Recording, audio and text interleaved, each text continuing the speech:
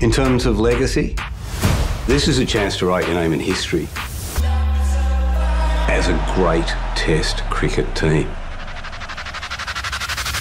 Smash through the offside. Australia win the World Test Championship. Cricket is a game of, of small margins. You can feel like you're on top, and it can flip in, in a second. English pitches, English media, English crowds. It's all against you. We're a very, very good team. We shouldn't lose one game.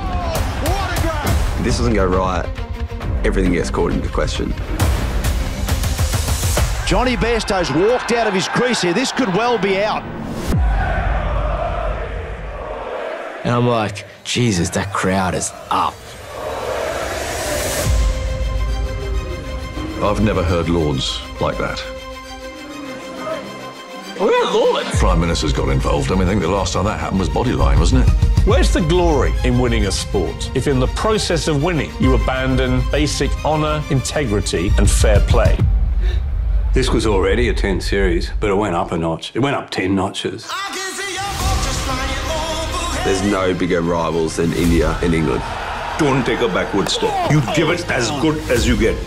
This is how I'm going to play, man. Boom, boom, boom. And the celebrations tells you everything. If you can stand up on this stage, bro, you stood up when the whole world was watching.